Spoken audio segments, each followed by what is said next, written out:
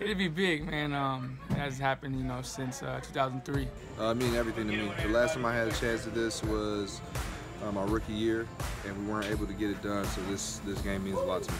To get out under our belt, um, it'd definitely be um, a great accomplishment. It would just be a culmination of a lot of hard work. Just from a personal perspective, uh, me having four losing seasons, you know, it's definitely a great fit. It'd be big for this team, you know, just one of our goals. It mean a lot.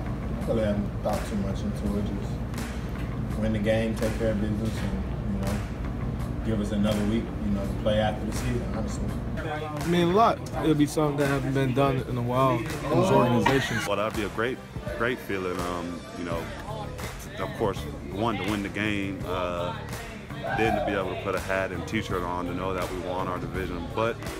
At the end of the day, we need to get this dub first. It's big from a, from a playoff standpoint. You know, obviously, if you're a division winner, you're guaranteed a home playoff game.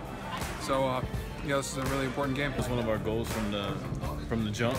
So, uh, you know, being able to accomplish that gotta be the next step towards what we want to do. Well, it's been a long time since that's happened, so I mean, it'll mean a lot to this organization and a lot to us because we put in so much work. It would be it'd be huge.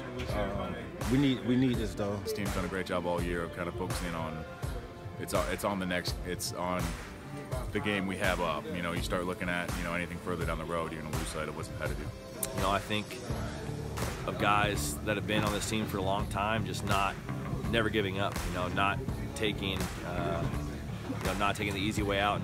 I mean a lot. Um, you know, it's one of, one of our goals that we you know set out to accomplish this year, and you know for us to have a chance to do it this year, um, you know, it definitely means a lot. We'll reach uh, 11 wins. You know, which hasn't been done in a long time. So. It'd be a, a, step in the right direction for what we wanted to accomplish and, and really kind of give you a little bit of a pat on the back for, hey, you know what, you've worked hard this season, you've had a great year, but it's still not the ultimate goal of what we want to do.